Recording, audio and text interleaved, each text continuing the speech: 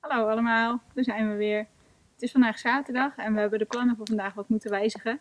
Caesars Head was dicht, want de parkeerplaats die zat uh, nog helemaal onder het ijs. Dus uh, je kon je auto er wel parkeren, maar dan vond je hem waarschijnlijk onderaan de berg terug. Uh, vandaag zijn we dus naar Chestnut Ridge gegaan. En dat is een groot bos in de omgeving. En nou ja, een bos is hier ook echt wel een bos. Je hebt overal omgevallen bomen liggen. Er loopt iemand met een kettingzaag door het bos heen die omgevallen bomen wegzaagt van het pad. Uh, overal grote rotsblokken. En als je even stil, stil blijft staan, dan uh, komt het bos echt tot leven. Dan uh, komen er overal kleine vogeltjes vandaan.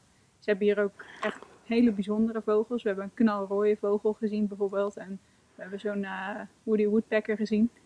Ehm, nou ja, dat is eigenlijk een beetje wat ik over vandaag kan vertellen. Dus tot de volgende keer. Dag!